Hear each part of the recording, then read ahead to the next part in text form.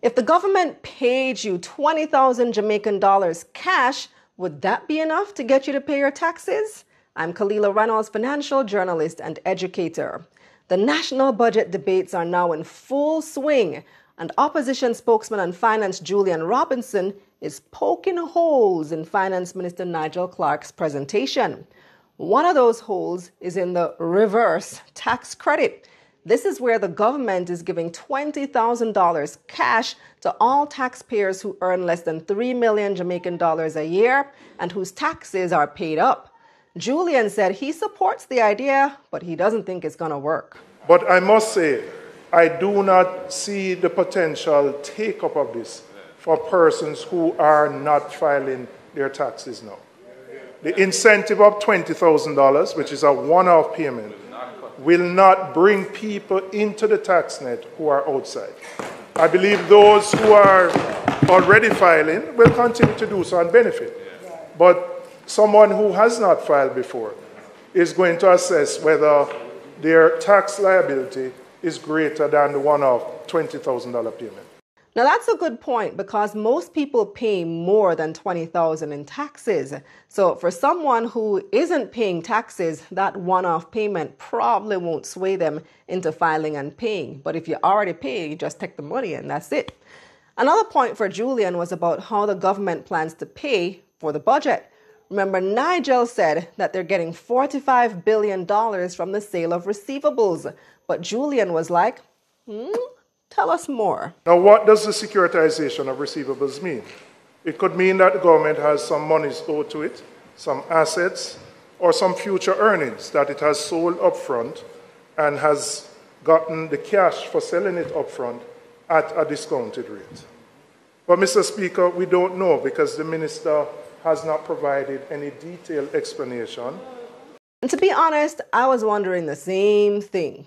I was actually planning on asking Dr. Clarke about that, but now that Mr. Robinson has raised it, I hope the minister responds in his closing presentation, or perhaps even sooner, because this part was a bit vague, and as they say, the devil is in the details. Which receivables exactly will the government sell? And who's buying? Are they getting a one off payment or will it flow continuously throughout the year? Um, also, what are the terms of the sale? What cut does the buyer get? Questions, questions. Now, the third point from Julian that I'll get into today is about the impact of removing GCT from imported raw foods. As I mentioned in my previous video, the whole point of taxing imported raw foods was to protect local farmers who can't compete with cheap imports. Nigel said we had to remove the tax or be blacklisted by the World Trade Organization, which would make it difficult for us to trade with other countries.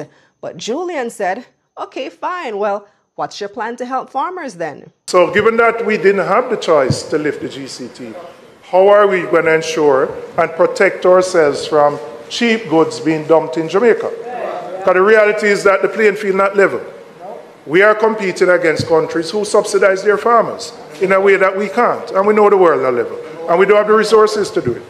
So, how will we protect the local farming sector, particularly where those farmers supply the tourism industry? And now the option is to import a lot of cheaper alternatives.